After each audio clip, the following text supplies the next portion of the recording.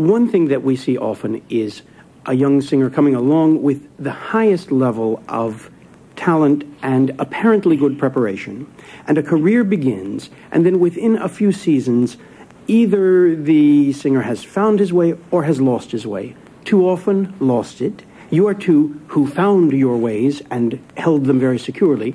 I wonder if you could talk a little bit about what the factors are, besides the talent and preparation, that make it work or not work. Marilyn. You start. I should start? Okay. Um, when I was young, long ago, we had um, lit- we made little steps. We were first beginner for three years, let's say, beginners. What are the troubles you avoid by taking the little steps? You know, you have to develop your art and your being as a human being. You have to develop. You cannot be with, with 21 years uh, a genius. Perhaps you are a genius, fine. But uh, no, a normal person with 21 years, it's like, uh, I say, like Octavian, like Rosenkavalier so. It's a stupid boy. Yeah, and, and one has to develop. Well, the thing is, is that in spite of the fact that people may think otherwise, this is a very deep kind of education that that a, an opera singer, a Lieder singer, whomever has to get. There are many, many layers, and I think even myself, I. When I was young, I, I didn't even know how many layers there are that one has to achieve in a way. It's sort of like going to nirvana, you know?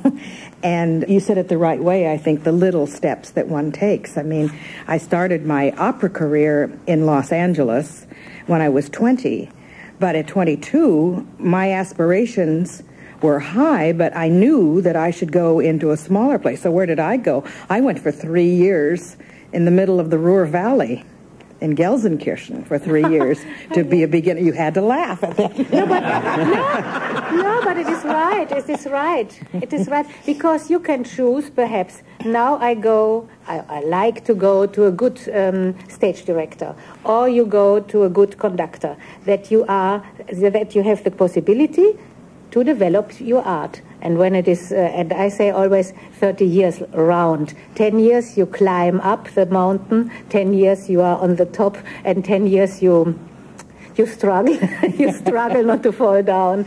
So we did it much longer, but anyway. Yeah. yeah.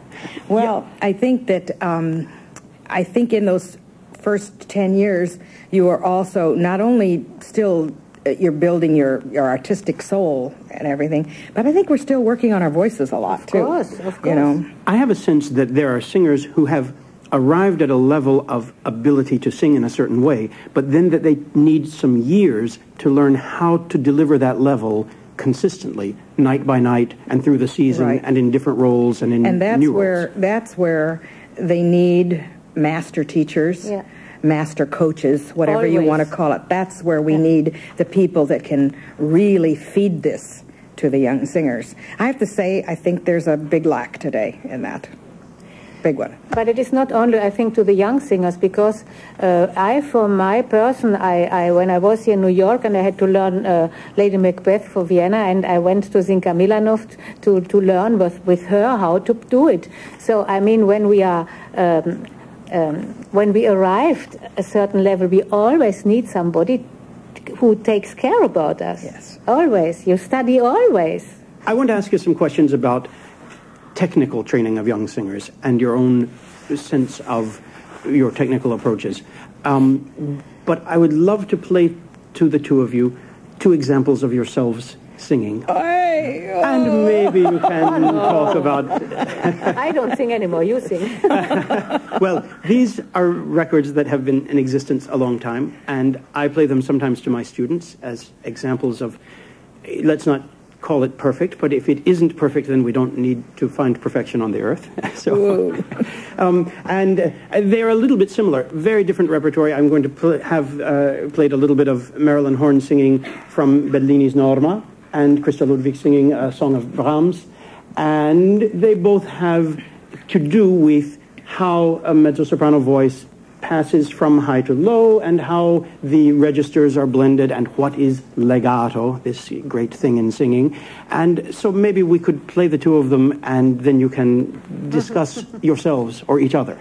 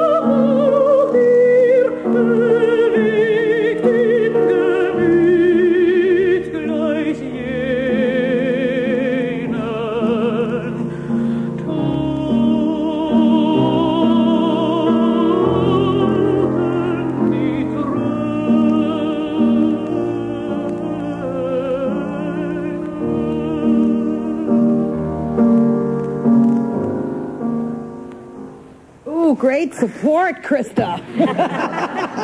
that song has given me fits always because the phrases are so long. I learned it from my mother. Oh, I had to learn it without my dad. Because yeah.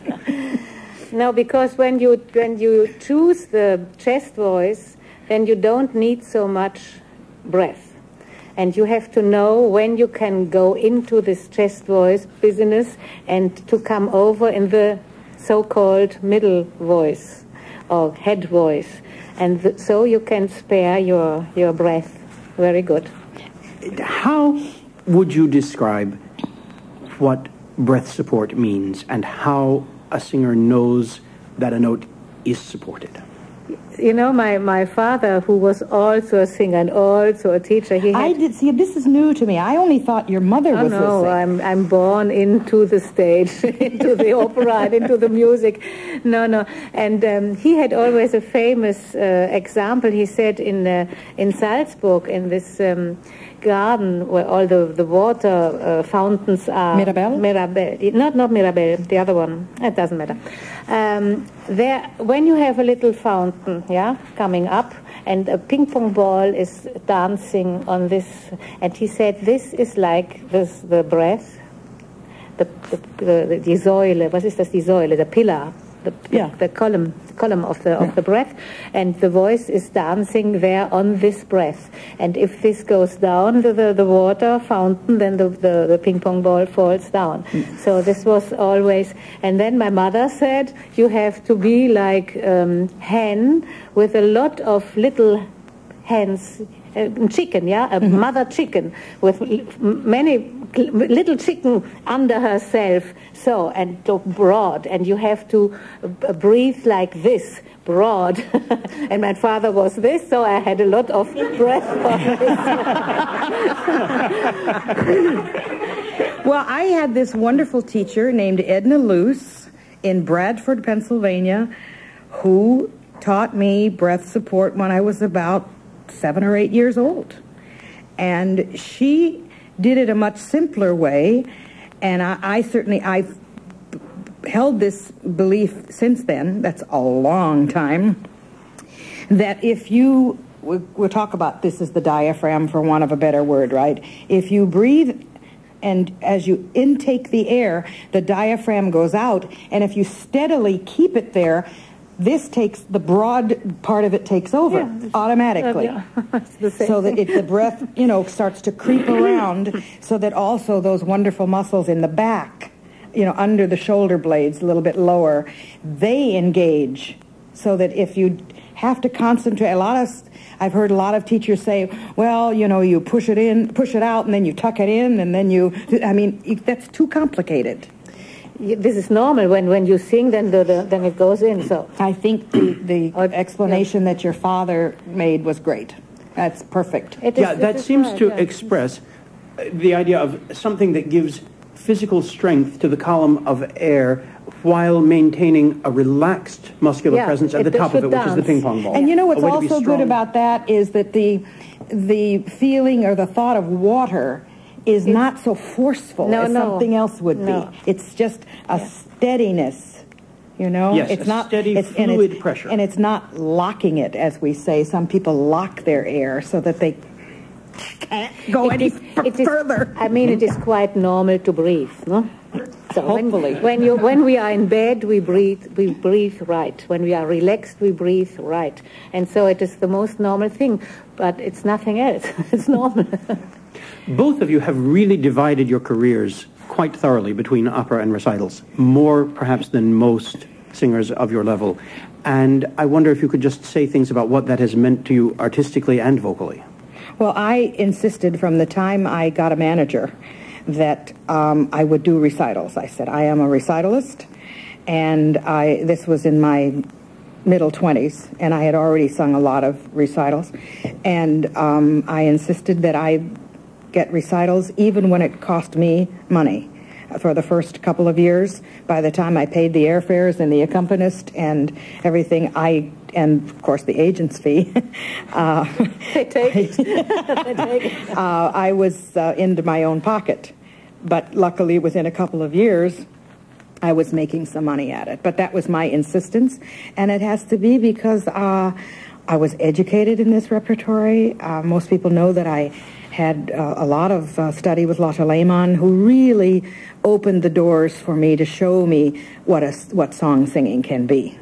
Wow, it's a miniature story, and you know each thing that you do, and uh, so that to not be involved and experience that huge repertory that's out there. You know, we're not horn players or tuba players or bassoon players. We have everything at our fingertips to choose from in the vocal repertory. So I, I could have never uh, missed that. Plus, I, there's something about the immediacy of the recital that I always felt comfortable with, with the people there. And, and, and finally, when I got a little more analytical about it, I said to myself, well, when I sing opera, I feel like I'm going out to the public, over the orchestra and out to them. When I sing recitals, I feel like I'm bringing the public to me.